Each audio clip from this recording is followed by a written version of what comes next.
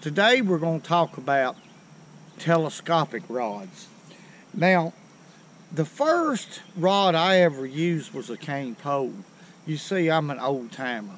I'm a half, I'm half, exactly half of 110 years old. So when I was six years old, my daddy put me on a bed of bluegill and I used a cane pole.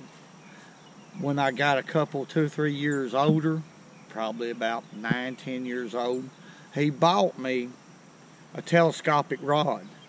Now, uh, this is not the one he bought. This was sent by a subscriber, but this years ago, and I'm, I've used it for several videos. This is about a 35 year old rod. It's a Johnny Walker fiberglass telescopic rod. This is what we had back in the day, right here.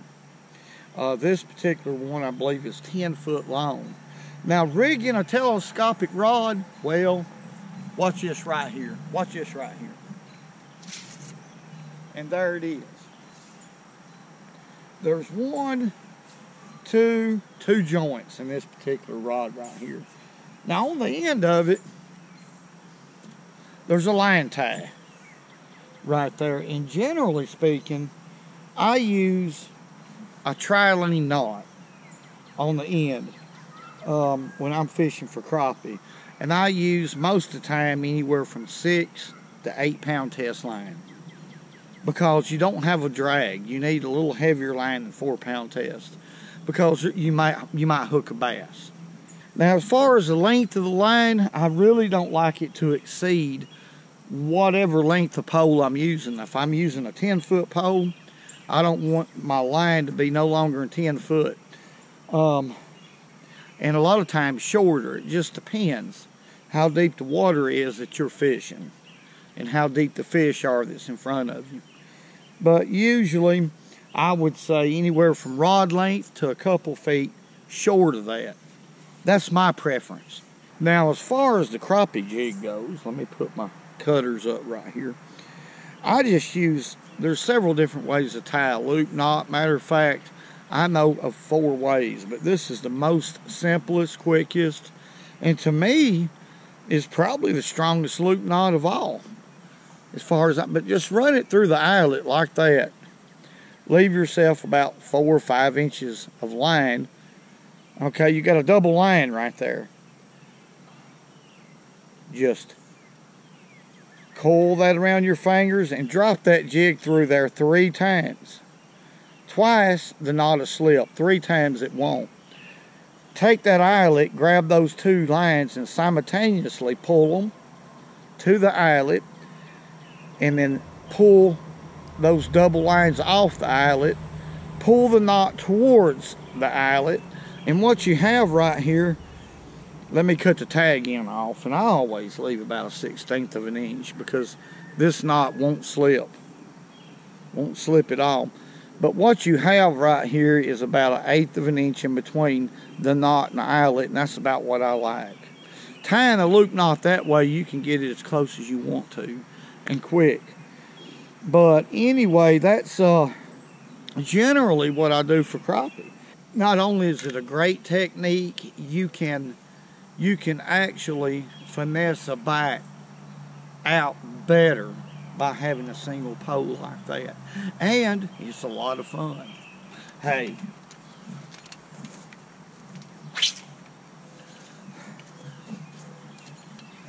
What we have right here, folks, is a bank.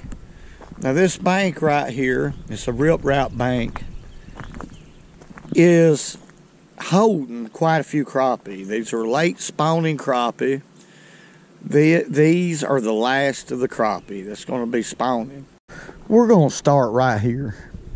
Right here is where the riprap gets a little bit deeper. Now, if y'all can see, there's a lot of rocks down through here. Right at the base of those rocks, those crappie are spawning and they've been hitting about three feet deep, two and a half to three feet deep. You be careful, them old rocks is slidey.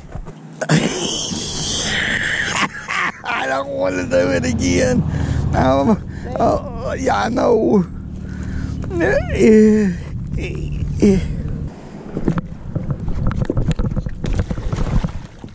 There's one. My goodness. He's fighting on this limber pole, folks.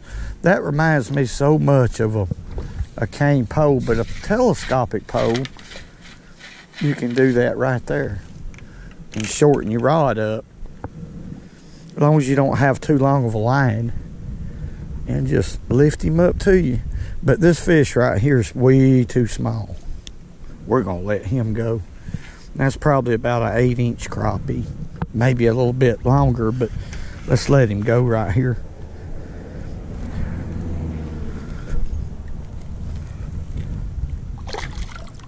Man, he shot out like a bullet. And just extended on out there. Back to where it was. That's the way I do it. Right there. And I tell you, really it's a perfect setup when fish are real close to the bank like this. You have a lot of control.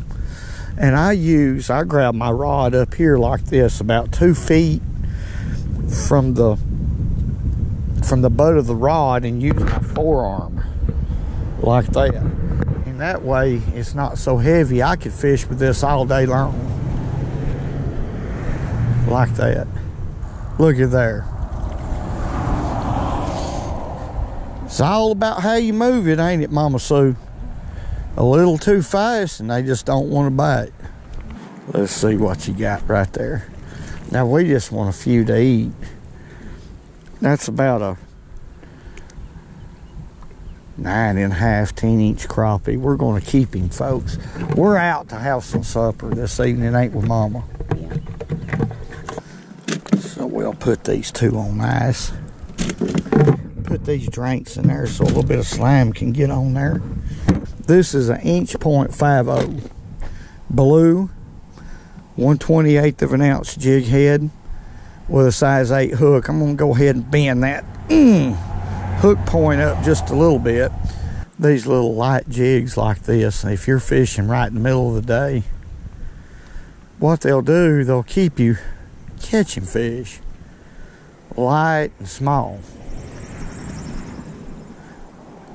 Ooh, I just missed one right there. That was probably a bluegill. But those smaller jigs like that is a is a plus for right in the middle of the day because these fish ain't active. If they were, I would be catching a, a lot of them. There's a lot of fish in here. There's one. Yep. Little black crappie. I tell you what, folks, I love this little pole right here with that fluorocarbon line on there. This is fiberglass, so that really that fluorocarbon line gives gives me a little bit of feel. That fish was barely, barely hooked. Yeah, that fish is about nine and a half inches. I'm gonna keep him. A long pole like that, like this, I'll just start right over here by the bank. Now this is when I'm trying to figure out where they're at, folks. And I let it, that jig's about four feet deep right now. And all I do is go all the way around real slow. See that little jig, light jig is just following in behind that rod tip. Then I'll put a little action in it, let it fall back. Little bitty twitches. But I'll do that 180 degrees. There we go. That's a good fish right here. That ain't a bad crappie at all. God, I wish Lisa could get out here with me. That's a male black crappie. Look how black that fish is.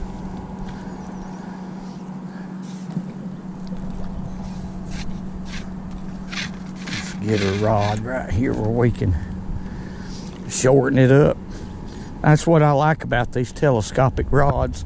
They make them like just like this these this day and time. In fact, The truth is, they're more sensitive and a lot lighter than back up in the day. I mean, this rod is like 30 years old, folks.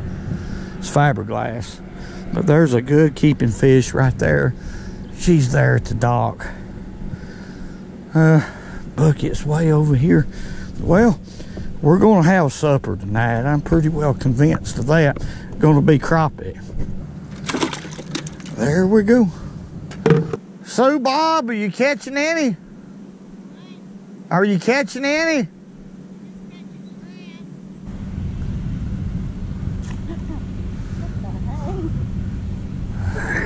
Did you do that? No, I didn't. A limb fell from this pine tree. I wouldn't do that to you. A panfish walnut. you don't like catfish.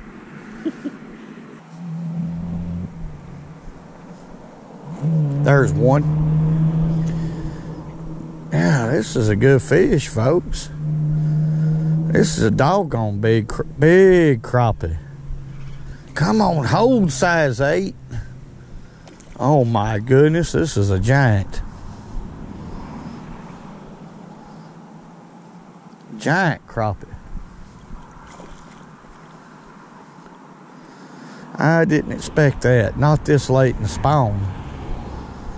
But you never know when it comes to fishing. I hope he don't jerk that little hook. Golly, what a crappie. Look here, what a fish. My, my, my, my. That's a good one. Yeah. That fish is just about quit spawning. You can see his, he's about done. That's a male. He's done his job. He's fertilizing them eggs, but he's fixing to get filleted. That that's a good good size right there to fillet. Let's go put him in a bucket for Mama Sue. That's a good crappie, Oh my goodness, that black crappie. black crappie. I'm gonna put him in a bucket because they're not biting too good. We're gonna have supper. Whoa! Now fiberglass ain't is not near as sensitive as graphite. So that's one reason why I selected use this fluorocarbon line because there's not much stretch at all in it, so it makes it a little bit more sensitive. I could have used six pound test. Oh, got a bite right there. Six pound test high vis line. That would have been a good choice, but I don't have any six pound test high vis line. I need to get some. There's one. Woo! I moved way up the riprap. I'm gonna tell Lisa about this. I caught that one really quick. They could be several right here. Hey, honey. Baby Lisa.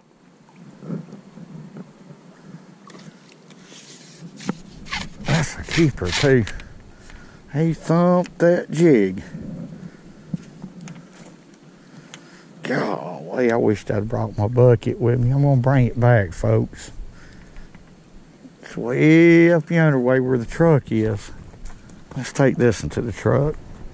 Folks, I'd like to introduce you to Carl Fulcher.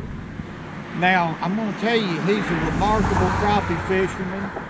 I first met him in Walmart, and uh, he'd been watching our channel and all that. And we fished in uh, several times in a couple different sloughs through the years. I've known Carl for, I'm going to say, going on probably two years two years. He served in Vietnam the exact, the same exact years that my two brothers did. And um, he's quite a fella, catches a lot of fish, and we appreciate his service, no doubt. Carl, you got anything to add to that? Not really. I just appreciate you being on YouTube. Well, I appreciate you and what you did for us over there. That was, um, that was, uh, you're a hero in my book. Okay. I appreciate it. I want to say God bless each and every one of y'all. Thank y'all for all the great comments. And